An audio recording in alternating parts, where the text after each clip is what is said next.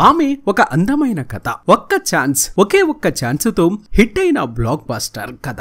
ఖడ్గం సినిమాలో ఒకే ఒక్క ఛాన్స్ డైలాగుతో పాపులర్ అయిన నటి సంగీత గారు. అలా సినిమాల్లోకి ఎంట్రీ ఇచ్చి ఒకే సంవత్సరంలో ఎనిమిది సినిమాలకు సైన్ చేసి పెద్ద డైరెక్టర్లకు కూడా డేట్స్ ఇవ్వలేనంత బిజీ అయిపోయారు సంగీత గారు. ఆమె ఎంచుకునే పాత్రలు విభిన్నంగా ఉంటాయి. ఖడ్గం పెళ్ళాం ఊరెళ్తే ఈ అబ్బాయి చాలా మంచోడు సినిమాలతో మంచి గుర్తింపు తెచ్చుకున్న సంగీత గారు శివపుత్రుడు సినిమాతో ఆమె తన నట విశ్వరూపాన్ని చూపించారు. సంగీత గారి జీవితంలో ఎవరికీ తెలియని అత్యంత ఆసక్తికర అన్ని విషయాల గురించి ఇప్పుడు మనం తెలుసుకుందాం. ఫ్రెండ్స్ మన ఛానల్ని ఇప్పటి వరకు సబ్స్క్రైబ్ చేయకపోతే వెంటనే చేసుకోండి. అలాగే అలాగే పక్కనే ఉన్న బెల్లైకన్ పై క్లిక్ చేయడం మాత్రం మర్చిపోకండి. సంగీత గారు పంతొమ్మిది వందల డెబ్బై ఎనిమిదవ సంవత్సరం అక్టోబర్ ఇరవై ఒకటిన శాంతారాం భానుమతి గార్ల దంపతులకు తమిళనాడులోని చెన్నైలో జన్మించారు. సంగీత గారి తాతయ్య అంటే సంగీత గారి అమ్మవారి నాన్న కెఆర్ బాలన్ గారు తమిళ్ళో పెద్ద నిర్మాత. ఆయన అప్పట్లో ఎంజీఆర్ శివాజీ గణేశన్ లాంటి లెజెండరీ హీరోలతో ఇరవైకి పైగా సినిమాలను నిర్మించారు. వారి తాతగారు తమిళంలో పెద్ద ప్రొడ్యూసర్ ఎంజీఆర్ శివాజీ గణేశన్లతో ఇరవై సినిమాలు చేశారు. అలాగే వీరికి ఒక థియేటర్ డబ్బింగ్ స్టూడియో కూడా ఉంది. సంగీత గారికి ఇద్దరు సోదరులు ఉన్నారు. అలాగే సంగీత గారి తల్లి కూడా చాలా అందంగా ఉండేవారు. సంగీత గారి తాతయ్య నిర్మాత కావడం ఆయన తమిళంలో అగ్ర హీరోలతో పనిచేస్తూ ఉన్నప్పుడు సంగీత గారి తల్లిని చూసిన ఎంజీఆర్ శివాజీ గణేశన్ వంటి పెద్ద హీరోలు ఆమెను వారి సినిమాల్లో హీరోనిగా చేస్తే బాగుంటుందని సంగీత గారి తాతయ్యను అడిగారు. అయితే వారి తాతయ్య మాత్రం అందుకు ఆయన ఒప్పుకోలేదు. ఇక ఆ తర్వాత సంగీత గారి తల్లిని సినిమాల్లోకి పంపించడం ఇష్టం లేక పదిహేను నెల వయసులోనే వివాహం జరిపించారు. అయితే ఆమెకు మాత్రం హీరోయిన్ అవ్వాలని ఉండేది. తన కోరిక నెరవేరకపోవడంతో తన కూతుర్నైనా హీరోయిన్ చేయాలనుకున్నారు ఆమె. చిన్నప్పటి నుంచే సంగీత గారిని క్లాసికల్ డాన్సర్ పంపించేవారు. అలా సంగీత గారు చిన్నప్పుడే భరతనాట్యం నేర్చుకున్నారు. ఇక ఆ తరువాత వెస్ట్రన్ డాన్స్ నేర్పించాలని ఆమెను డాన్స్ స్కూల్లో జాయిన్ చేశారు. అక్కడే సంగీత గారితో పాటు విక్రమ్ సూర్య ధనుష్ గారు కూడా డాన్స్ నేర్చుకున్నారు. ఆమె చెన్నైలో ఉన్న saint John's English school and junior కాలేజీలో టెన్త్ క్లాస్ పూర్తి చేసి లెవెన్త్ స్టాండర్డ్లోకి ఎంటర్ అవుతున్న టైంలో ఆమెకు సినిమాల్లో హీరోయిన్గా చాలా ఆఫర్స్ వచ్చాయి. తను లెవెన్త్ స్టాండర్డ్లో ఉన్నప్పుడే చాలా బ్యూటీ కాంటెక్స్ట్లో పార్టిసిపేట్ చేశారు. తను పార్టిసిపేట్ చేసిన ఒక బ్యూటీ కాంటెక్స్ట్ టీవీలో కూడా ప్రసారం అయింది ఆ ప్రోగ్రామ్ తోనే ఆమెకు సినిమా ఆఫర్స్ రావడం మొదలయ్యాయి. అప్పటికే ఆమె వయసు పదిహేను సంవత్సరాలు మాత్రమే. విలయరాజాకారి సోదరుడు దర్శకుడు గంగయమరన్ గారు తీస్తున్న కుంజలై సినిమాలో హీరోనుగా తొలి అవకాశం ఇచ్చారు సంగీత గారికి. ఆ అవకాశం ఎలా వచ్చింది అంటే సంగీత గారి తండ్రి గంగయమరన్ గారి భార్య కజన్స్. గంగయమరన్ గారు తన కుమారుడు వెంకట్ ప్రభు గారుతో పుంజలై సినిమా తీద్దామనుకున్నారు. దాంట్లో హీరోనుగా బయట వాళ్ళ కంటే సంగీతాన్ని హీరోయిన్గా పెట్టుకుంటే బాగుంటుందనిపించింది. అలా తన మొదటి సినిమాలో తన కజిన్ వెంకట ప్రభు గారితో కలిసి నటించారు సంగీత. అయితే ఈ సినిమా రిలీజ్ కాలేదు. కానీ సంగీత గారికి మాత్రం ఈ సినిమా తర్వాత చాలా సినిమాల్లో అవకాశాలు వచ్చాయి. సంగీత గారి కుటుంబానికి విజయ్ తలపతి కుటుంబానికి ముందు నుంచే బాగా పరిచయాలు ఉన్నాయి. విజయ్ గారి తండ్రి సంగీత గారి తాతయ్య గారి ప్రొడక్షన్లో పనిచేసేవారు. విజయ్ సంగీత ఇద్దరు కూడా చిన్నప్పటి నుంచి చాలా మంచి ఫ్రెండ్స్. విజయ్ గారు సంగీత గారితో ఎప్పుడు నువ్వు సినిమాలోకి ఎలా వెళ్తున్నావో అలాగే బయటకు రావాలి. లవ్ గివ్ అంటూ జరగకుండా సరిగ్గా ఉండు. నీ పేరును స్పాయిల్ చేసేలాంటి పనులు ఎప్పుడూ చేయకు అని అనేవారు. పుంజలై తర్వాత తమిళ కన్నడ మలయాళ భాషల్లో కలిపి పది సినిమాలు నటించినప్పటికీ అవేమీ పెద్దగా ఆడలేదు. తరువాత తెలుగులో ఆలీ గారు హీరోగా చేస్తున్న ఆసలి సందడి మూవీలో ఆమెకు హీరోనిగా అవకాశం వచ్చింది. ఇదే సంగీతకారికి తెలుగులో మొదటి సినిమా. ఈ సినిమా పంతొమ్మిది వందల తొంభై తొమ్మిదిలో విడుదలైంది. ఇక కృష్ణవంశీ గారు ఖడ్గం సినిమా మొదలు పెట్టారు దాంట్లో అన్ని పాత్రలకు అందరూ సెలెక్ట్ అయిపోయారు. కానీ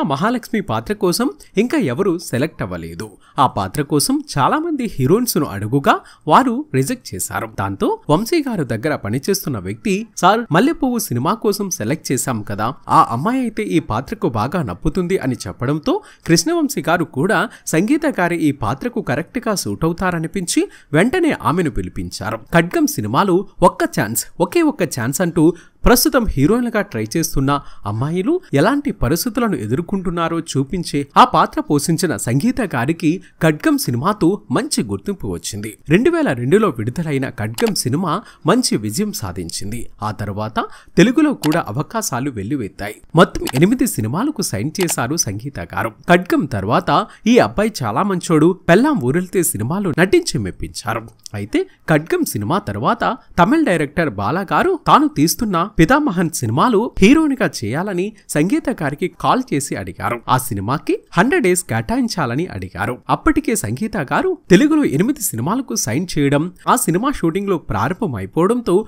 తాను చేయలేనని చెప్పేశారు. అయితే ఆ తర్వాత అంత పెద్ద డైరెక్టర్ సినిమాలు అవకాశం వచ్చినా చేయలేకపోయాను. అలాంటి డైరెక్టర్ దగ్గర పనిచేస్తే చాలా నేర్చుకోవచ్చు. మంచి అవకాశం పోగొట్టుకున్నానని బాధపడుతున్న సంగీత గారు వారం రోజుల తర్వాత బాలాగారికి ఫోన్ చేసి సారీ సార్ క్షమించండి. మీతో పనిచేయాలని ఉన్నా చేయలేకపోతున్నాను. మీకు నేను బిగ్ ఫ్యాన్. ఈసారి సినిమా ఛాన్స్ ఇస్తే ముందే చెప్పండి. వంద రోజులు కాదు. ఆ సినిమా కోసం సంవత్సరం పనిచేయాలన్నా నేను చేస్తాను. వేరే సినిమాలు ఏవి ఒప్పుకోను. నాకు డబ్బులు కూడా అవసరం లేదు అని చెప్పడంతో బాలాగారు ఇప్పుడు ఎక్కడున్నావు? అని అడిగారు. ఇప్పుడు హైదరాబాద్లో ఉన్నాను. షూటింగ్ క్యాన్సిల్ అవడంతో చెన్నై వస్తున్నాను అని చెప్పడంతో చెన్నై కాదు మధురైరా అని అనగానే మీరు ఆల్రెడీ హీరోని సెలెక్ట్ చేశారని నేను విన్నాను అని అనగానే ఏమీ మాట్లాడకు. నువ్వు ముందు రా చెప్తాను అన్నారు. వెంటనే సంగీత గారు మధురై వెళ్ళారు ఆ తర్వాత ఆమెకు శివపుత్రుడు సినిమాలు పాత్రకు తగ్గట్టు ఆమెకు మొత్తం బ్లాక్ కలర్ రాసి ఒక పాత చీర లాంటిది కట్టించి తలంతా చెరిపేసి చండాలంగా తయారు చేశారు. ఇక డైరెక్టర్ వెంటనే వచ్చి ఈ అమ్మాయినింటి ఎలా తయారు చేశారు? ఇంకాస్త బ్లాక్ కలర్ వేయండి. ఆ చీరంకా మురికి మురికిగా చేసి కట్టించండి అని అనగానే సంగీత గారు షాక్ అయిపోయారు. వెంటనే మనసులో ఈ సినిమా చేయాలా వద్దా? అని అనుకుంటూ క్యారివాన్లో నుంచి కిందకి దిగి ఎవరైనా ఆమెను చూసి ఇలా ఉందేంటి? హీరోయిన్ అని తిడతారేమోనని భయపడుతూ చీర చెంగు కప్పుకొని తలదించుకొని నడుస్తూ లొకేషన్కు వెళ్ళారు నెమ్మదిగా తల పక్కకు తిప్పి చూడగా పక్కన విక్రమ్ గారు ఇంకా భయంకరంగా తయారై ఉన్నారు. ఇటు పక్క చూడగా హీరో సూర్య గారు కూడా అలాగే చండాలంగా తయారై ఉన్నారు. దాంతో ఓహో అందరూ ఈ సినిమాలు ఇలాగే ఉంటారా? అనుకొని అమ్మయ్య వీరిద్దరికంటే నేను కొంచెం బాగున్నా అనుకుని మనస్ఫూర్తిగా ఆ సినిమాలో చేయడానికి ఒప్పుకున్నారు. ఈ సినిమాలు ఆమె నటన అద్భుతం అమోఘమని చెప్పాలి. తమిళ్ళో పితామహన్ పేరుతో రెండు వేల మూడులో విడుదలైన ఈ సినిమా ఘన విజయం సాధించి విక్రమ్ సూర్యాలతో పాటు సంగీత గారికి కూడా మంచి గుర్తింపును తీసుకువచ్చింది. ఈ సినిమా తెలుగులో శివపుత్రుడు పేరుతో రెండు వేల నాలుగులో విడుదలైంది తర్వాత సంక్రాంతి సినిమాలో శ్రీకాంత్ గారికి జోడీగా నటించారు. ఆ తర్వాత తమిళ్ళో సంగీత గారికి ఒక సినిమాలో అవకాశం వచ్చింది.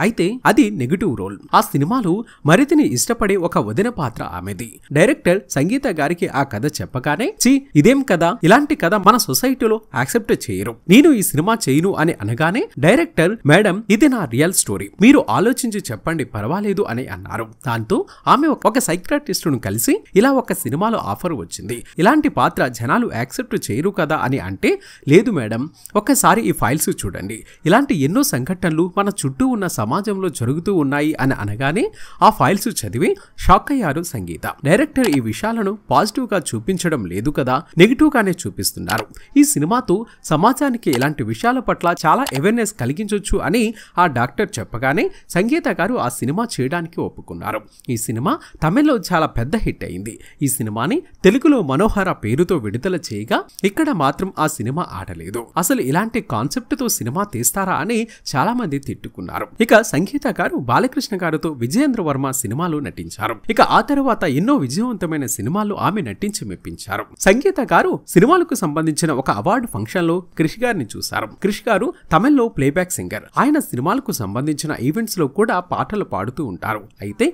ఆ అవార్డు ఫంక్షన్లో క్రిష్ గారు స్టేజ్ పెర్ఫార్మెన్సెస్ ఇస్తూ ఉండగా సంగీత గారు క్రిష్ గారిని చూసి ప్రేమలో పడిపోయారు. ఆ స్టేజ్ పై ఆయన మాట్లాడుతూ ఉంటే అలా చూస్తూ ఉండిపోయారు సంగీత.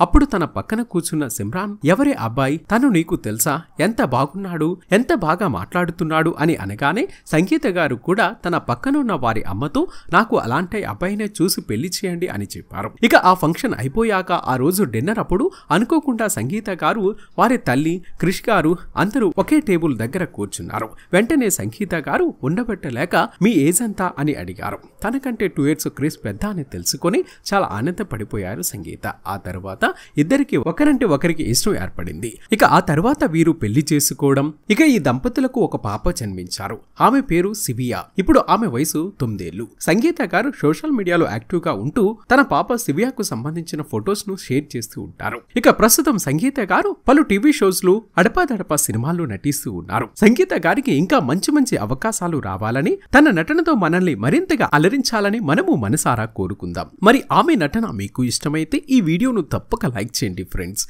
మేము చేసే ప్రతి వీడియో వెనుక చాలా కష్టం ఉంటుంది. ఆ కష్టానికి మీరిచ్చే ప్రతిఫలం ఒక లైక్ కొట్టి సబ్స్క్రైబ్ చేసుకోవటమే. చేస్తారు కదా. ఫ్రెండ్స్ ఇటువంటి ఇంట్రెస్టింగ్ వీడియోస్ కోసం మన ఎస్ఆర్ మీడియా ఛానల్ని సబ్స్క్రైబ్ చేసుకొని పక్కనే ఉన్న బెల్ పై క్లిక్ చేయండి. ఫ్రెండ్స్ చాలా మంది చూసి వెళ్ళిపోతున్నారు. లైక్ కొట్టడం మర్చిపోతున్నారు. ప్లీజ్ ఒక్క లైక్ మన ఎస్వీఆర్ మీడియా యూట్యూబ్ ఛానల్ని సబ్స్క్రైబ్ చేయండి. మమ్మల్ని ఆశీర్వదించండి. Please subscribe and thank you